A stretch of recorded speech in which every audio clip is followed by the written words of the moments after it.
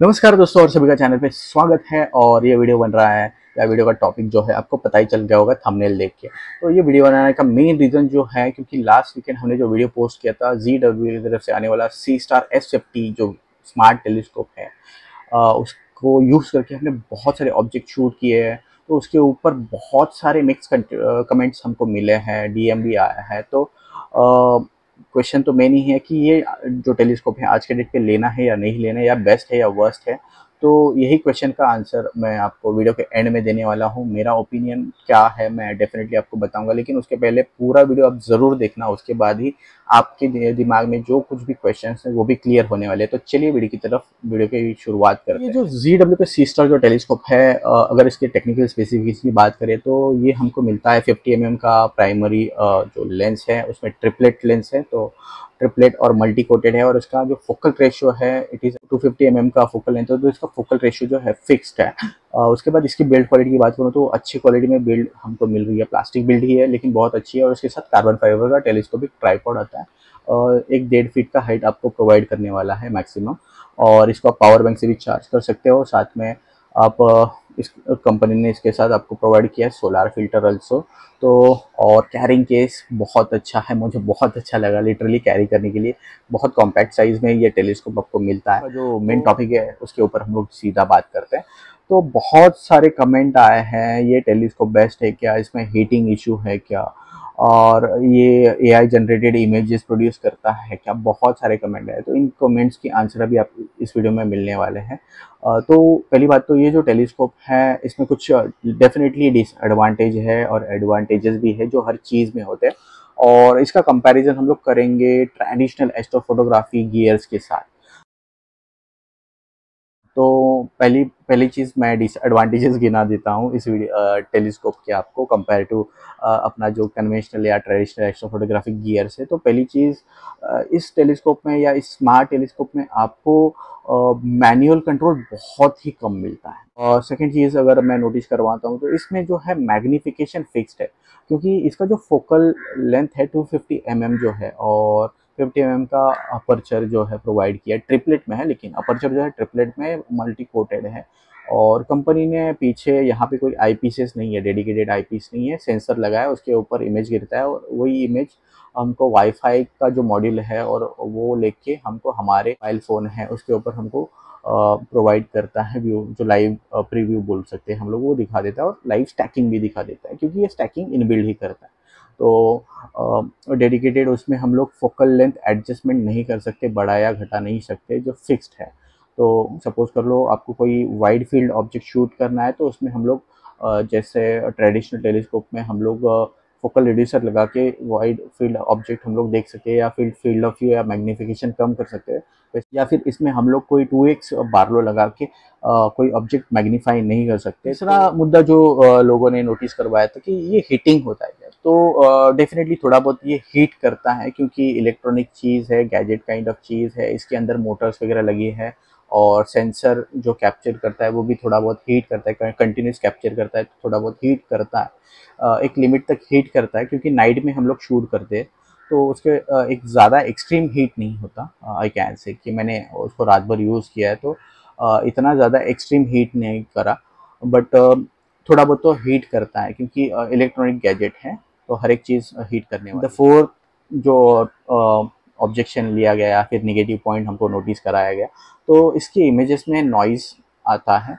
हाँ I can say कि आता है। आज के डेट पे ये जो टेलीस्कोप है या दिस काइंड ऑफ़ टेलीस्कोप जो है वो इनिशियल स्टेजेस में आई कैन से तो वो इतने उनकी सॉफ्टवेयर जो है या फिर इनकी स्टैकिंग जो है या पोस्ट प्रोसेसिंग वाले जो सॉफ्टवेयर जो है इनके वो इतने एडवांस नहीं है, लेकिन फ्यूचर में वी कैन एक्सपेक्ट कि इससे भी अच्छा पोस्ट प्रोसेसिंग हमको देखने मिल सकता है सॉफ्टवेयर अपडेट के बाद। तो आज के डेट पे थोड़ा बहुत नॉइस हमको देखने मिलता है, थोड़ा बहुत हीटिंग देखने मिलता है।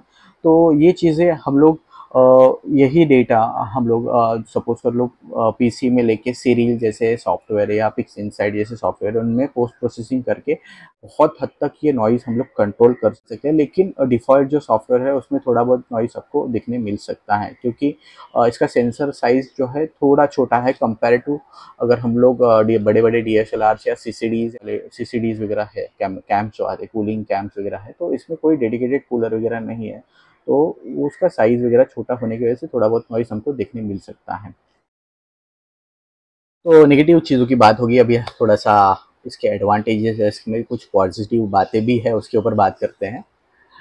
तो पहली चीज़ मैं बात करूँगा, अगर हम लोग कंपेयर करते हैं इसको कन्वेशनल एस्ट्रोफोटोग्राफी गियर से तो पहली बात मैं बोलूँगा ये बहुत कॉम्पैक्ट है साइज़ में कंपेयर टू हम लोग ट्रेडिशनल जो गियर है उनके कंपैरिजन में बात करूँगा तो सेकंड चीज़ इन इसको सेटअप करना बहुत ही इजी है। uh, इसके इसके ट्राईपॉड के ऊपर आपको बबल लेवल मिलता है तो उसको देख के आप इसका ट्राईपॉड का लेवल भी कर सकते हो। साथ ही में ऐप में भी सपोर्ट है जो कैलिब्रेशन वाला चीज़ हम लोग करते हैं तो आ, जब आप सेटअप करते हो और जब आपका सी स्टार लग जाता है तो सी स्टार खुद ही बता देता है कि इसका लेवल परफेक्ट नहीं है तो आप ऐप में जाके इसका, या फिर ट्राईपॉड को एडजस्ट करके इसको लेवल कर सकते हो और ऐप में आपको बबल लेवल भी दिखाया जाता है तो उसका यूज़ करके आप आप लेवल कर सकते हो। सेम चीज़ अगर हम लोग एस्ट्रोफोटोग्राफी गियर में लेके जाते हैं तो पहले आपको ट्राईपॉड लेवल करना होता है उसके बाद आपका माउंट लगाने के बाद उसका पोलर अलाइनमेंट होता है और उसमें बहुत फाइन एडजस्टमेंट होते हैं। मैंने किया है। आ, मुझे पता है वो दर्द क्या है वो इरिटेशन लेवल क्या है। अगर पोलर अलाइनमेंट एग्जैक्ट नहीं होगा उसके आसपास थोड़ा बहुत भी इशू होता है या फिर आपका ट्राईपोर्ड का लेवल थोड़ा भी हिल जाता है तो पूरा सेटअप आपको फिर से करना पड़ता है। और उसमें ना कम से कम बहुत टाइम जाता है। मुझे पता है वो दर्द मैंने सहा है और मैं इरिटेटेड हो गया था वो चीज़ से तो it will take definitely time अगर ट्रेडिश दूसरी चीज़ मुझे नोटिस करवानी है, ये बहुत ही कॉम्पैक्ट साइज़ में आ रहा है आपको। तो छोटी साइज़ में होने की वजह से ना इसको कैरी करना बहुत ही ईजी है, बहुत ही ईजी है और कैरिंग केस के साथ ट्राईपॉड और सब चीज़ें आप इजीली कैरी कर सकते हो। और इसका वेट भी बहुत कम है अगर कंपेयर टू अदर गियर तो उनका वेट कम से कम दस पंद्रह के तो चला ही जाएगा मेरे हिसाब से। तो ये हार्डली आपको दो ढाई के में, तीन के के अंदर ही पूरा सेटअप मिलता है और सिंगल बैग में आप कैरी कर सकते हो या फिर आपके रक्सैक में भी कैरी कर सकते हो। इट इज़ ईजी कि कोई भी हाई एल्टीट्यूड पे जाके भी आप डीप स्काई एस्ट्रो फोटोग्राफी कर सकते हो। लेकिन सेम चीज़ आप ट्रेडिशनल गियर के साथ नहीं कर सकते क्योंकि उनका वेट इतना होता है, उसके बाद आपको पावर टैंक लगता है तो बहुत डिफ़िकल्ट है। और इसको हम लोग हमारे पावर बैंक से भी चार्ज कर सकते हैं। और सिंगल इम्पोर्टेंट चीज़ आती है कि कॉस्ट अगर मैं इसको कंपेयर करूँगा कन्वेंशनल एस्ट्रोफोटोग्राफी गियर के साथ तो आई कैन से कि फिफ्टी फिफ्टी टू थाउज़ेंड में ये आपको इंडिया में मिल रहा है आज के डेट पे। अगर फॉरेन में जाओगे आप बाहर तो यूएस वगैरह में फाइव हंड्रेड डॉलर्स की कॉस्टिंग चल रही है। तो फाइव हंड्रेड डॉलर्स में आपको एस्ट्रोफोटोग्राफी का स्मार्ट टेलीस्कोप मिलना बहुत बड़ी बात है।